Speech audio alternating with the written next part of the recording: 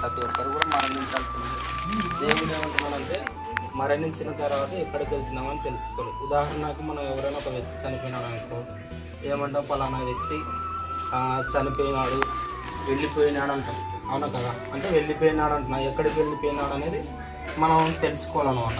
ఎందుకంటే ఈ లోకంలో మనం చేసిన పాపములను బట్టి చెడ్డ పనులను బట్టి ఎక్కడికి వెళ్తాను అంటే చనిపోయిన తర్వాత రెండు మార్గాలు ఉన్నాయి. అందరూ కూడా నమ్ముతారు స్వర్గం ఉందని నరకం ఉందని.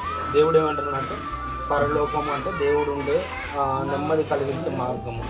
ఈ నరకం అనేది మనం చేసిన పాపాలను బట్టి శిక్ష అనుభవించాలి. కాబట్టి ఆ శిక్షను ఎక్కడికి వెళ్తున్నాం అంటే నరకానికి వెళ్తున్నాం. ఆ నరకంలో యుగ యుగాలు మన ఆత్మ ఎంతో వేదన పడి ఎంతో శిక్ష అనుభవించాం కేవలం కొంతకాలం మాత్రమే బతికాం కానీ మన ఆత్మ యుగ యుగాలు అక్కడ చావు అనేది లేదన్నమాట. మంచిది పెద్ద దేవుడు మిమ్మల్ని దీవించుకున్నాక. అట్లా మనం మరణించిన తర్వాత ఎక్కడికి వెళ్తున్నాం అనేది